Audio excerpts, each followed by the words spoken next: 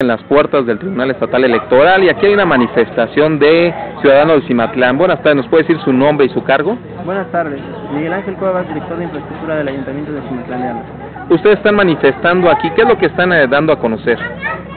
Tenemos un problema desde hace un poquito más de un año con algunos, este, con tres regidores eh, del PAN eh, que forman parte de la, del municipio Estoy hablando del regidor eh, Modesto Bernardo, que es regidor de Educación, del regidor José González, eh, José Gonzalo, perdón, Cuevas Carreño, que es regidor de Obras, y del regidor Medardo Cabrera Escribel, regidor de Desarrollo Social.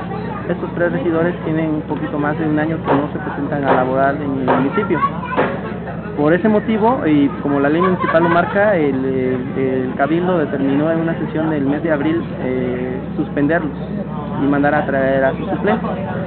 Lo que ellos hicieron fue poner una demanda este, por esta acción ante el tribunal en el cual ahorita nos encontramos. Y nosotros le venimos a pedir al tribunal que pues haga, este, que aplique la ley, que aplique la ley como, como, como la ley marca, porque su resolución eh, dictamina de que se les eh, que se les reintegre en su cargo y aparte de eso de que se les paguen todos los sueldos desde el año pasado hasta la fecha. Eh, estamos hablando de cantidades bastante considerables que van en perjuicio de, la, de las finanzas públicas del municipio y de ese dinero se podría utilizar en, en otras con otras finalidades de, como obra pública por, ejemplo eh, uno el malestar de la, de la gente que usted ve aquí de la gente de Cimatlán es que en ningún lugar se le puede pagar a una persona que pues no les quita su salario ahorita estas tres personas que no han laborado por el lapso de un año ¿Cuánto percibían nominalmente? Eh, su, su quincena o su dieta era de, 15, de, 10 mil pesos, perdón, por cada 15 días.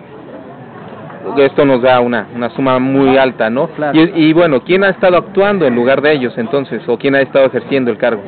Eh, bueno, en el momento en que se determinó por el cabildo suspenderlos, eh, se llamó a sus suplentes y sus suplentes este, han estado laborando con toda normalidad. ¿A ellos se les ha estado pagando el sueldo que sí están ejerciendo? Este, se les ha estado pagando como, como no sabría, para serle sincero, no sabría decirle cuánto se le está pagando. Yo creo que se le está pagando con, como, con un salario menor, pero lo importante no es tanto el salario, sino que están realizando el trabajo que esas personas dejaron abandonado. ¿El nombre de las tres personas nos los puede repetir, por favor? Sí, es eh, el arquitecto José Gonzalo Cuevas Carreño, regidor de obras, el profesor Modesto Bernardo, que es el regidor de educación, y por último el este, eh, perdón eh, me pasó el nombre Cabrera Escribel se llama se, llama, se, llama, se apellida el señor es el regidor de desarrollo social ustedes están, eh, bueno, han comentado que hay alguna fracción política que está ayudándolos. ¿Quiénes son? Sí, en particular unos diputados del PAN.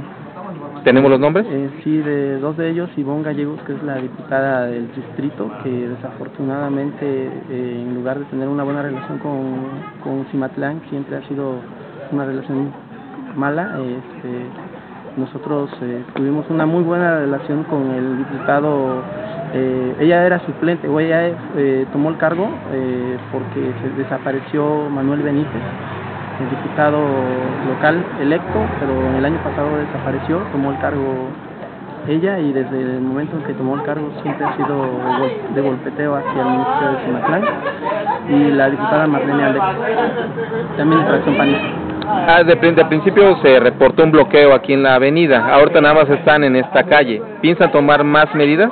Nosotros iniciamos de manera pacífica, y nos constituimos en las puertas del tribunal eh, solicitando una audiencia con los magistrados, pero ah, por la cuestión de los magistrados de que el dictamen nunca nos ha sido favorable, siempre han actuado a favor de estas personas, pedimos que estuviera presente un representante del Congreso del Estado y un representante de la, de la Secretaría General de Gobierno. Pero nos comentaban ellos que no estaban dentro de sus facultades el, este, el, poderlos llamar, pero afortunadamente eh, las tres partes están adentro y pues ahorita vamos a esperar, eh, hay unos compañeros que están en, en, el tribunal platicando con los magistrados y dependiendo de la respuesta que nos den ya veríamos qué medidas tomaríamos de presión. ¿Algo más que quiera agregar? Ah, este, un saludo, auditor.